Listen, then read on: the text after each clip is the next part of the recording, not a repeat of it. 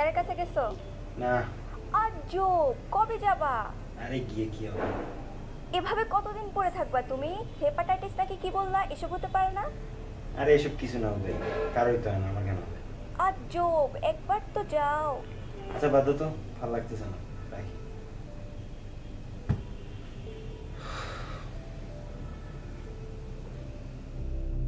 চার বছর হয়ে গেল। স্বপ্নের ক্যাম্পাসে আসার জন্য তখন অনেক কষ্ট করতে হয়েছিল।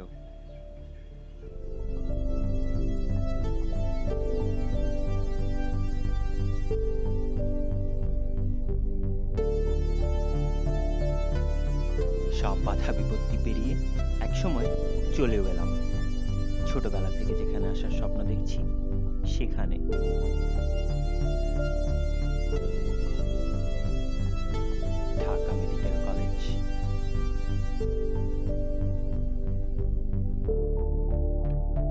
দেখতে দেখতে থার্ড ইয়ারে উঠে গেলাম।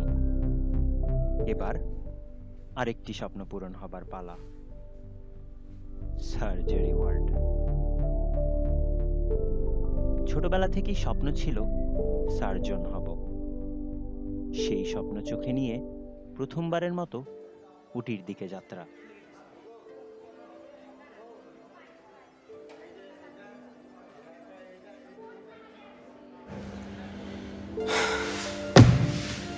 ওয়েলকাম টু সার্জারি ওয়ার্ড নতুন নতুন থার্ড ইয়ারে উঠছো এখন অনেক কিছুই জানব, অনেক কিছু শিখবা।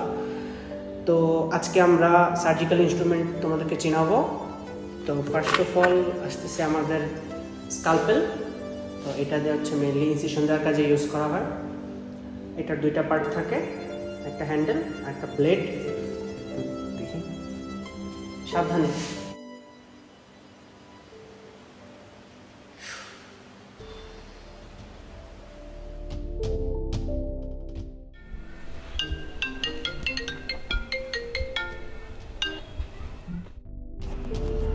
হ্যালো আসসালামু আলাইকুম স্যার। ওয়ালাইকুম আসসালাম। আগে তো তুমি নিয়মিত ক্লাসে আসো এখন তো ক্রনিক অ্যাবসেন্ট থাকো। এভাবে চললে আমি তোমার কেমনে ক্লিয়ারেন্স দিব? স্যার আমি একটু অসুস্থ তো। অসুস্থ তাহলে ডাক্তার দেখাও টেস্ট করো। এগুলো এক্সকিউজ এখন দিলে হবে বাবা।